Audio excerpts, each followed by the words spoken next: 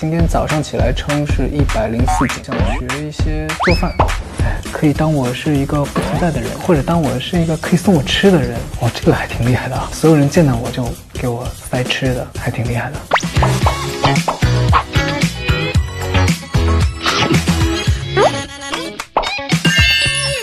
Hello，头条新闻观的朋友们，大家好，我是华晨宇。如果你，不是话听我的歌，请闭上耳朵。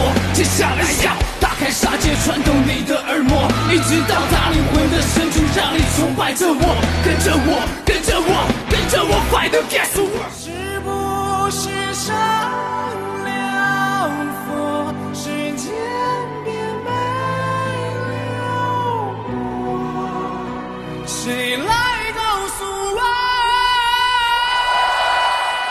今天让大家给我准备了很多问题，我们一点一点来看吧。第一个问题，娱乐哇哇哇，哈，花花作为一个吃货，你是如何做到吃的多又长不胖的？哦，吃的多长不胖。其实我我是那种，嗯，有时候一吃可以吃很多，可以吃很多。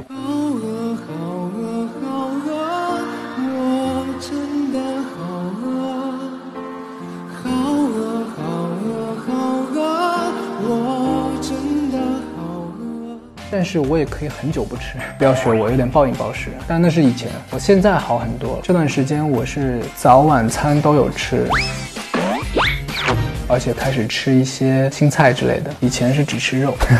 我最胖的时候应该有一百三十多斤吧，将近一百四十斤了。最瘦的时候不到一百斤。我今天早上起来称是一百零四斤。好，第二个问题，花边娱乐网，你唱歌的时候有时嘴巴张得很大，网友说都能看到你的小舌头，你是不在乎还是只要把歌唱好就行了？哦，我真的没有想过这个问题，因为唱歌就是有唱歌的方式，我们。唱歌舞台表演者一定是从作品的角度去出发的。有时候为了表达一个作品的时候，你的面部肯定是有时候会很狰狞的，一切都以作品为第一优先考虑。哈哈。下一个问题，头条鸡为什么对徒手抓蚊子和苍蝇有执念？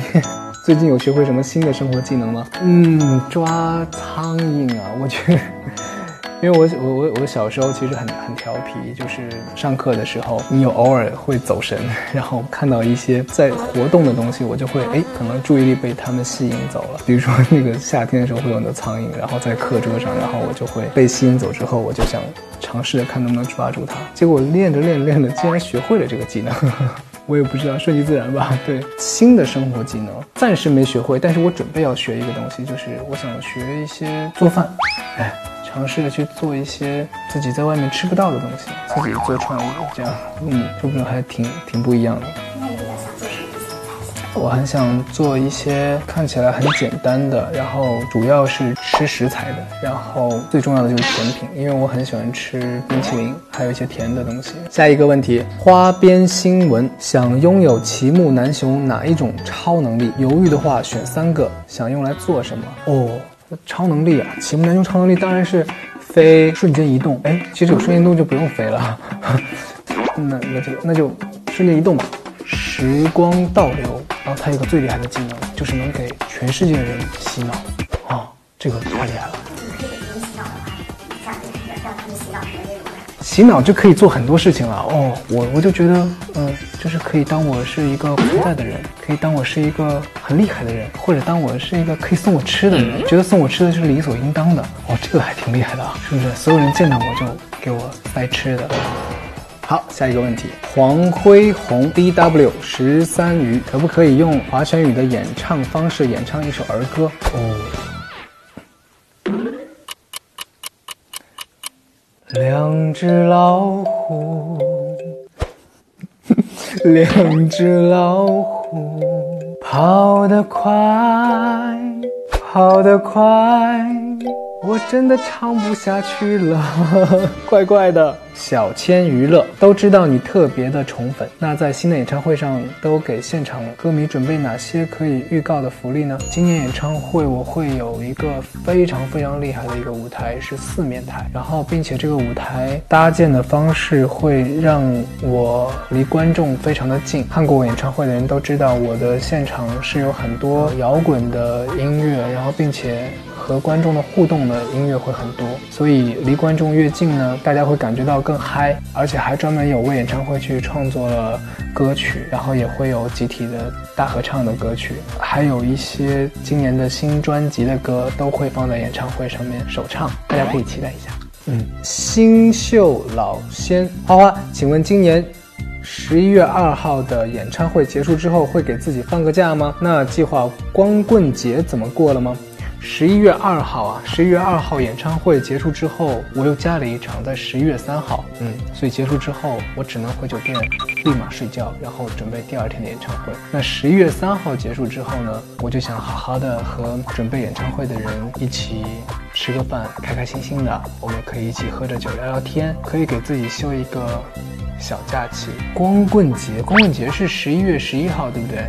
双十一嘛，我也不爱购物，这个这个节其实对我来说好像没什么意义。好，下一个问题，《西游大鱼记》作为 HCY 一百四十八新团宠的飒飒会出席演唱会吗？可卷容须炸揪，对此有什么想说的吗？我觉得我演唱会应该会剪头发吧，而且我演唱会之前，我想要有一个闭关的时间，因为我要把专辑里的音乐全部都做出来，这样好在演唱会上面可以首唱。花边新闻，去年演唱会飞了，今年的惊人之举会是什么呢？哇，今年的惊人之举，我会用另一个方式，另一个方式再飞一次。哦，我今年那个斗牛设计出来效果真的挺厉害的。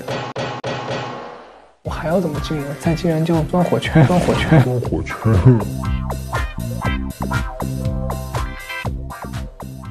下一个问题，头条新闻官，这次演唱会还会有《癌》这首歌吗？有的话，你这次又做出哪些改变？我本来第一场是没有准备要《癌》这首歌的，因为票没抢到，所以又加了一场。歌单里面可以考虑一下把《癌》放进去，因为《癌》这首歌它其实特别的意识，我觉得它可以有很多种很艺术的形式。